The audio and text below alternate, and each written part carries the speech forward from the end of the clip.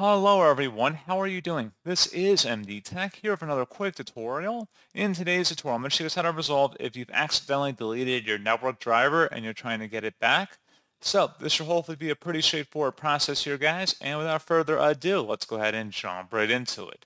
So first thing I recommend doing would be to open up the search menu and type in Device Manager. Best result should come back with Device Manager. Go ahead and open that up you want to now locate the network adapter section in here. So go ahead and just right click on that and select scan for hardware changes and then see if it now appears in this list. If not, we can try resetting our network settings back to default and then see if that makes potential workaround to resolving that. So close out of there and open up the search menu.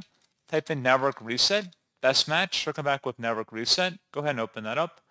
So before you proceed here, just Please keep in mind if you're using a Wi-Fi based connection, you will need to have your Wi-Fi credentials nearby and accessible because once we reset our network settings and restart our computer, you will need those credentials to get back on the internet. So just please keep that in mind before you proceed with the next step.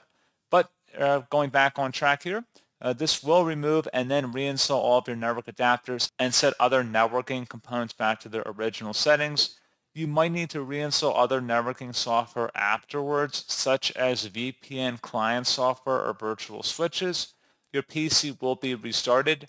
Select the Reset Now option. Are you sure you want to reset your network settings? Select Yes. And you will be automatically signed out within five minutes. However, I would suggest I would suggest just saving and closing out of any open programs and applications and then manually restarting your computer don't wait for it to automatically restart when you're in the middle of something. You're probably going to forget that it's going to restart your computer and you're going to be distracted and it's just going to automatically restart your computer and you'll lose whatever progress you were working on with whatever other tasks you were doing in the background.